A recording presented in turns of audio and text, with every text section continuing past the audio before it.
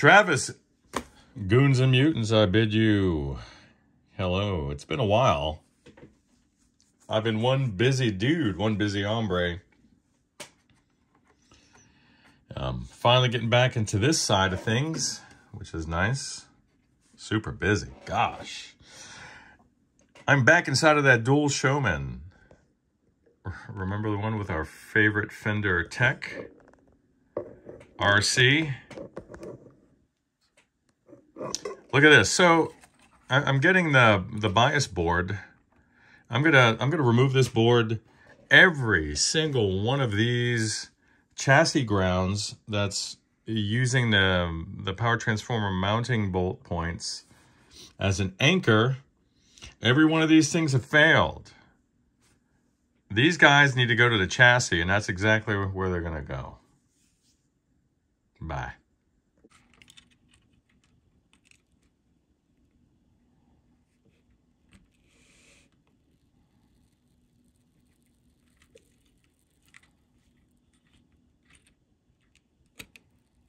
Mm-hmm. I'm just stick it right there in the corner. Stick it there. These all got to go. So the rectifier on the bias supply shorted and then it pulled excess current through that F&T. Just split it wide open. So we're not going to leave anything to chance. This is not in a signal path. This is not about tone. This is about reliability. So you got to go. You just got to go, buddy. This is an amp that will be rented out. So the owner's reputation is at stake. This is not an amp that's being preserved for a museum or some dude's bedroom. So his his beer buddies can occasionally come by on the weekend and they can sit there and gawk at it. That's not what this is. This is an amp that's going to be played. Um, it's probably going to see a lot of studio time. So it's got to be right. Oops, where was I? I wasn't done. I wasn't done. You guys are distracting me. Oh, I've got plans for a video coming up, you guys. Guess what? You know all the hardware you see on your 50s and 60s Fender amps? do you realize that there's an Ace Hardware right across from Fender's old radio repair shop? That's been there since the 50s? Where do you think he got that screen door material from? That was being used as a, Faraday shield on the inside of the, the cabs. Guess who still owns the business?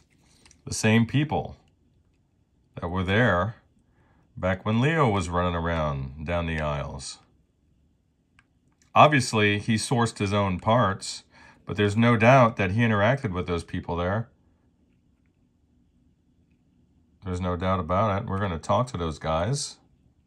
We're going to get all the backstories, get all the angles that haven't been covered, all the nerd stuff. Not just the, the lineage of the guitars themselves and the impact that they made on music and culture. Not all that stuff, which is super cool. Let's just, let's just get real. That is super cool. But I'm talking about the impact that the factory had on a local community.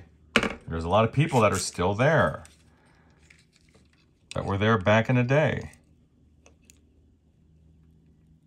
A lot of people. Still there. So I'm going to be um, making some relationships with the folks that are at uh, his old repair shop. It's now, a, I think it's now a furniture store. See if we can get a tour. See if we can overlay that with some public records and some uh, possible floor plans. um, especially for the factory, which is now Auto Body Repair Center, or it's just a string of uh, body shops. I wonder if any of the old fixtures are there. Anything's been repurposed. I mean, spray booths, of course.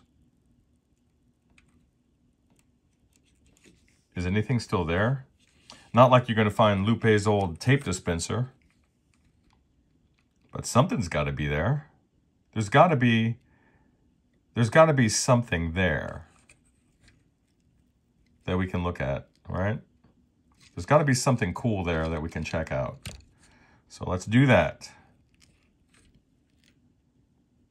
So anyway, that's that's in the works. That's literally in the works now, and that's part of the reason why I haven't made a video in a bit.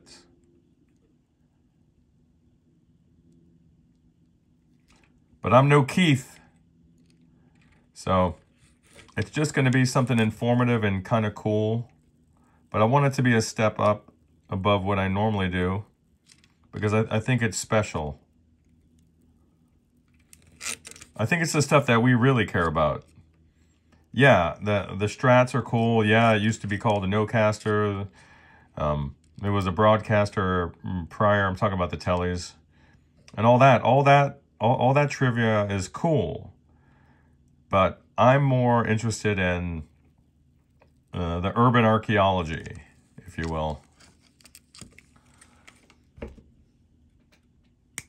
I mean, I'm right there. Why would I not take advantage of, of my location, right? And do that. I could take you guys along. Why would I not do that for you? I just got to figure out the timing. And I have to make the right relationships. But I think we can get it done, you know? I mean, it's not like we're some creepy uh, Trekkies who are going to um, Captain Kirk's old old primary school trying to interview his, his old teacher or anything like that. It's a different level of creepiness. It's still creepy. It's still super creepy, don't get me wrong.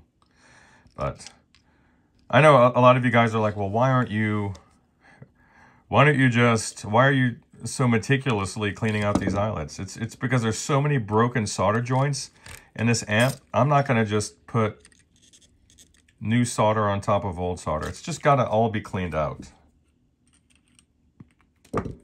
That's why labor is so expensive.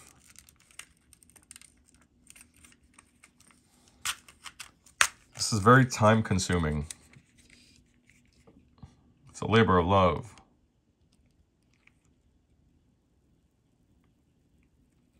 It's a labor of love. And I don't have much time for this type of labor today. As the holidays coming up. And that puts me in a bind time-wise. It actually forces me away from the camera and from documenting what I do. It forces me away from that, see? You see that? This 470 is going to be replaced with, with a much nicer Ohmite part. Um, all these guys are going bye-bye. This dude shorted. So off you go. I'll keep the jumpers in place, but that's about it. And then we'll uh, look at this thing back. Bye.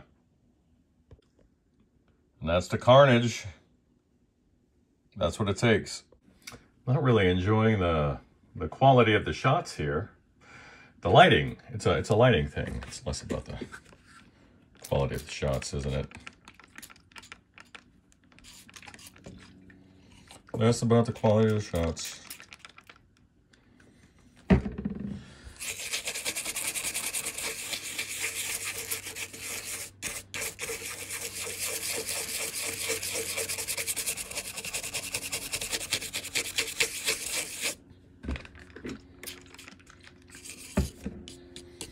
You just sit there and soak. You just think about what you've done. You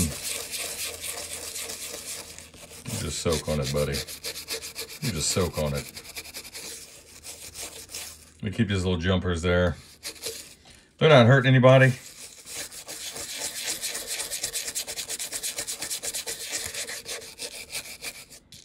Stay down. you stay down. I'm gonna get a soft bristled brass brush. Say that three times fast.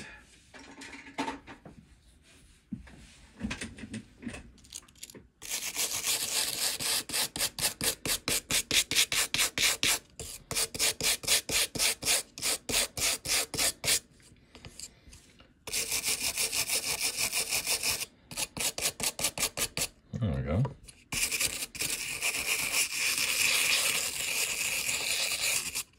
I like it. I like it.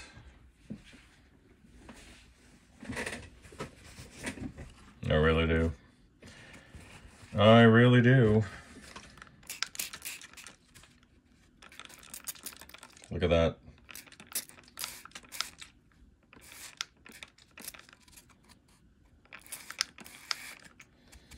This is all the junk that becomes conductive. All that funk right there. All that stuff becomes conductive over time.